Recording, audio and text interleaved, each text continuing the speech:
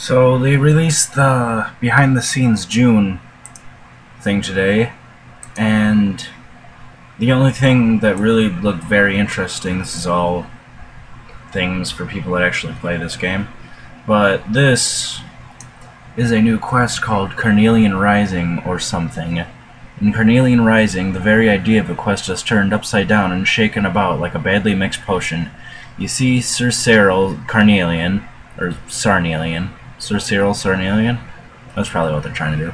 Is very disappointed in his young son. He wants you to turn him into a brave, handsome, and daring adventurer. Just like you, Cyril's really proud of a quest that he has written for Philip, and he needs you to make it happen. After all, who knows more about the clambering over obstacles, disarming traps, rescuing prisoners, and saving the day more than you, the greatest hero that RuneScape will ever see?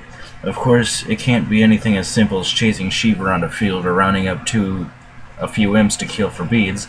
In this, our latest fully voiced piece of content, you'll need to find actors to play the characters according to Cyril's quest specification, tie up the damsel in distress, and set up the whole experience in the sewer beneath the Carnillean, the Sarnelian family mansion.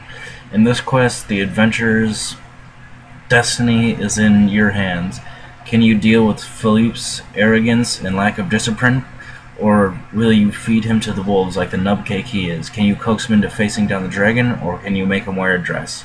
In this rib-tickling intermediate quest with skill requirements of 33 thieving, 31 construction, and a quest point cape requirement of 50, as well as a healthy sou- su- summary dollop of XP sauce, you'll get your own personal treasure chest uh, that you can use to set up and run treasure hunts for your friends. You also get a bunch of rewards if you're an experienced player. So basically, that sounds awesome. That it's just a really cool idea for a quest. And also this part, you also get a bunch of other rewards if you're an experienced player. That probably means you get a better reward if you have either more total experience or more quest points, which I have quite a bit of in both, so I'm happy about that.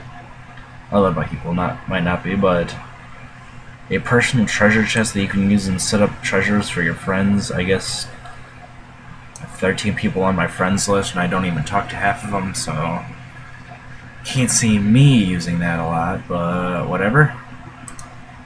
What else? Really easy requirements, yeah.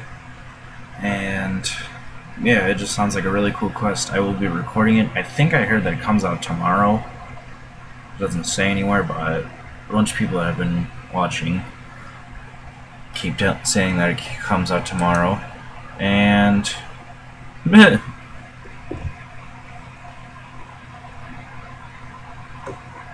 the end.